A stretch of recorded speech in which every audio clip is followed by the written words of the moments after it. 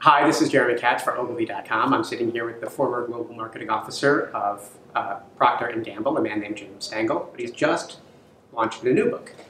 It's called Unleashing the Innovators. I'm not going to cover the title. Um, Unleashing the Innovators is uh, a book about partnerships with startups and established companies, and it involves research from Ogilvy Red that uh, Jim did over the years. So it has 201 companies in it. About half of them are startups, half are big companies.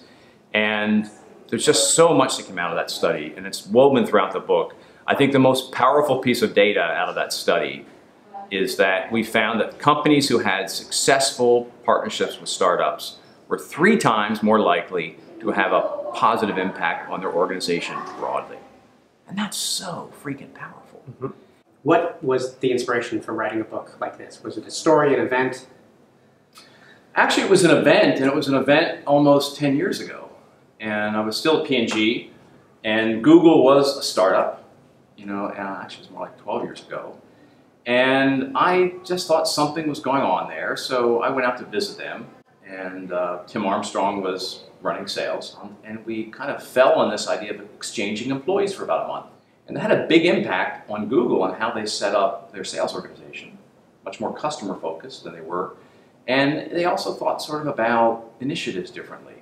And for us, you know, the, uh, obviously just how fast they worked, the fearlessness, the experimentation, the rapid iteration. And the, the biggest thing I think we found was this, the companies that went into partnerships with the objective, not just of buying a technology or buying a team, or opening up a new channel of distribution. They actually went in with an objective to take the lessons from the startups and collectively take those lessons and scale that learning across the entire enterprise.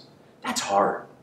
But the companies that went in with that objective and are doing it are seeing a huge impact on their organization. And inside big companies, you know, there are great people in big companies. I mean, I came from one. Uh, and it's important big companies succeed because their scale can really change the world for the better.